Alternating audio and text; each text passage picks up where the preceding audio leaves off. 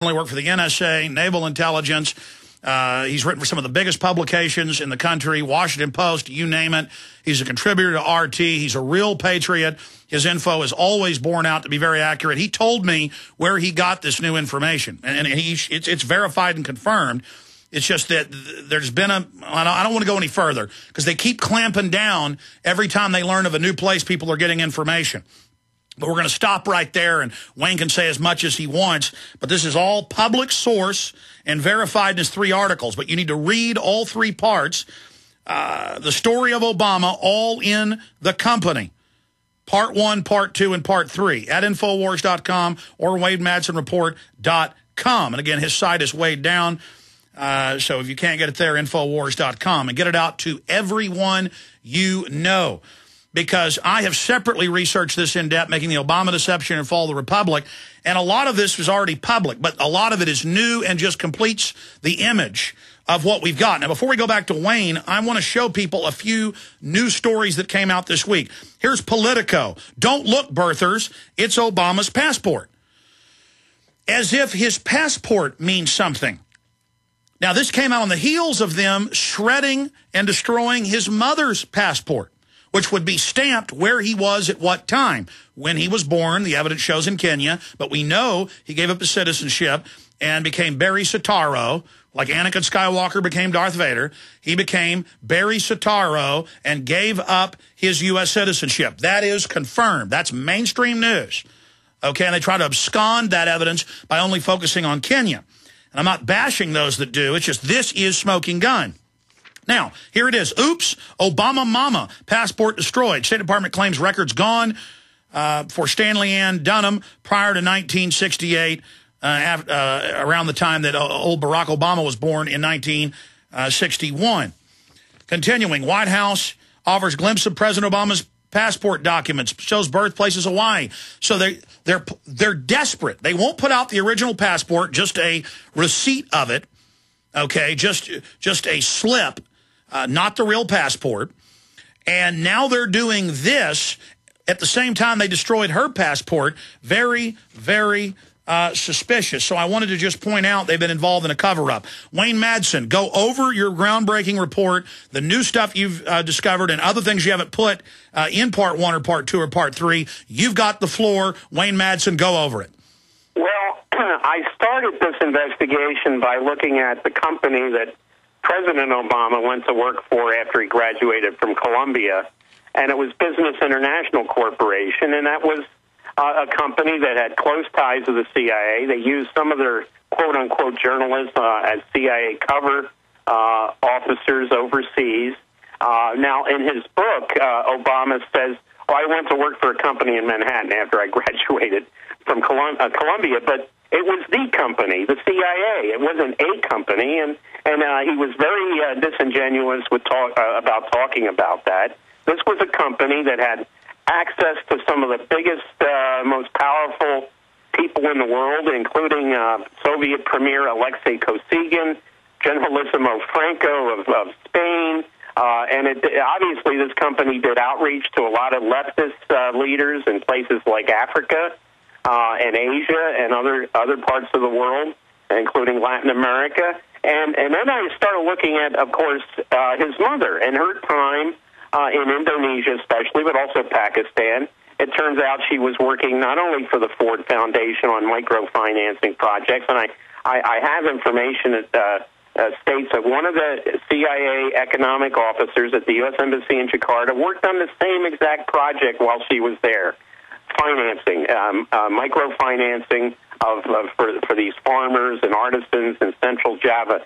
Now, she, uh, Obama, ta- uh, uh, uh, Ann Dunham Soetoro takes her son at seven years old into Indonesia following the CIA-inspired coup.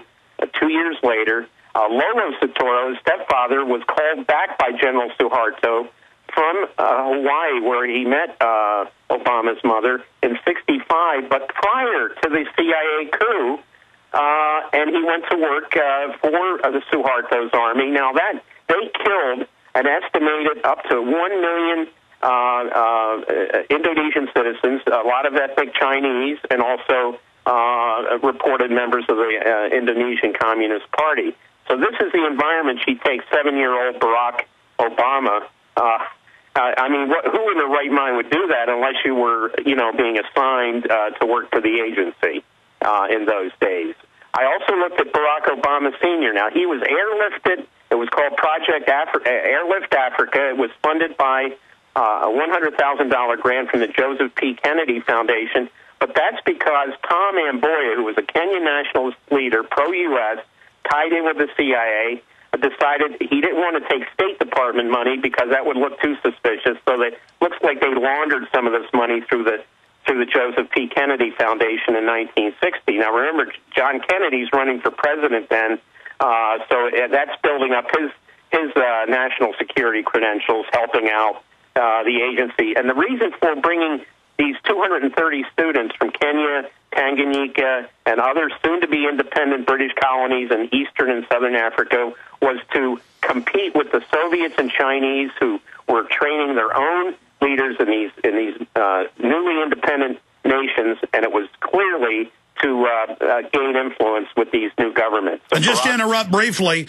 the bottom line historically is the British are the masters of this, but other governments have done it. That's why you had to be American born to be president uh, in the Constitution, because at the time our country was being founded, they had problems with the Austrians sending their people uh, into other European countries during the democratic revolutions that were developing to try to put their people into power there. And so this story of intelligence agencies pre-positioning people to put them into political power so they control nations uh, is extremely old. And we also know that Kenya in the 40s and 50s into the 60s was the admitted declassified global model of covert uh, takeovers and was the main base of operations, aside from South Africa uh, and Rhodesia, for control of the African uh, continent.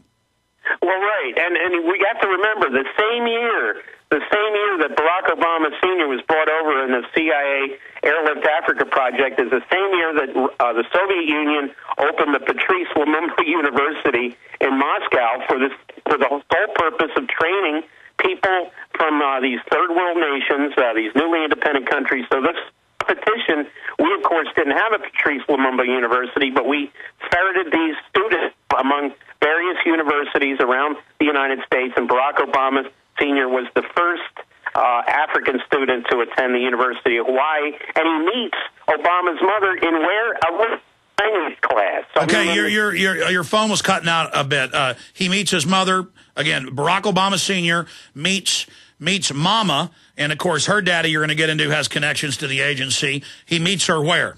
In a, in a Russian language class at the University of Hawaii. Uh, now, this is the height of the Cold War. Uh, the only people who would be taking Russian in a place like Hawaii, which was like a military, I mean, the military was all over Hawaii, the Navy, the Army, the Air Force, would be obviously people who were involved in some uh, way, shape, or form with intelligence or, or, or, or were re being recruited into intelligence.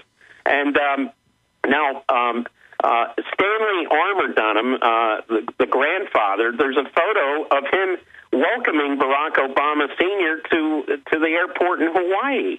Uh, now we were told that they met for the first time at the Russian language class. It's clear now.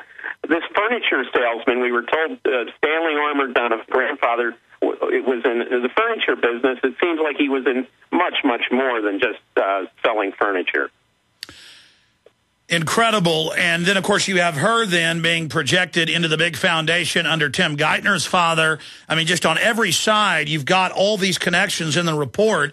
And then he's got a fake name. He's changing his name. We don't know where he's born. Uh, he comes from nowhere to become president. I mean, it just, I mean, the evidence is overwhelming. Well, and then we have, then we have the curious case of uh, his grandmother, uh, Madelyn Dunham, who uh, who died uh, right uh, two days before Obama was elected president in 2008. Uh, the Obama campaign apparently didn't want her giving any interviews to the press.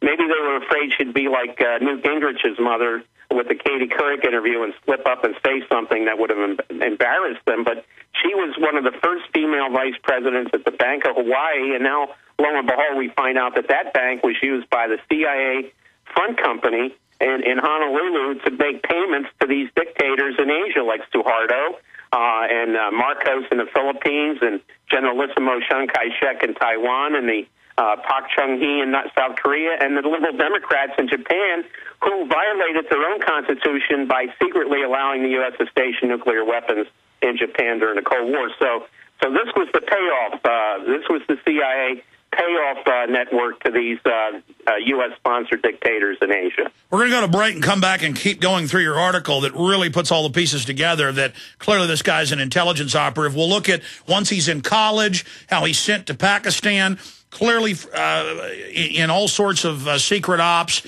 I mean, this is extremely clear. But also, if you really study deep intelligence, it's normally a family affair because then the whole family's connected. There's the peer pressure of the family. You can never leave. And so we see that pattern throughout history at the highest levels of intelligence. We'll continue to look at uh, Barry Soetoro, a.k.a. Barack Obama, uh, the president, on the other side of this quick break with Wayne Madsen. You've got to read the report, look at the photos. It is extremely damning. It's all at Infowars.com and WayneMadsenReport.com. Is your debt problem a ticking time bomb? Thanks to a new financial consumer relief program designed in response to the economic crisis facing millions of Americans, you don't have to wait until it's too late to defuse your debt. If you owe $10,000 or more in credit card bills and are struggling to make minimum payments, get ready to take down this number for free information that could potentially save your home, the lifestyle you're accustomed to, and your family's financial well-being. But don't wait. Studies show that if most debt problems are confronted directly, beneficial settlements, manageable monthly monthly payments and quick restoration of credit are more easily attained, potentially saving you thousands of dollars in interest charges, fees, and unpaid debt. Don't procrastinate. Call now for your free information and begin putting your economic house in order today. To qualify for this program, you must have $10,000 in credit card debt. Call the American Debt Associates at 800 876 2966. 800 876 2966. Again, 800 876 2966.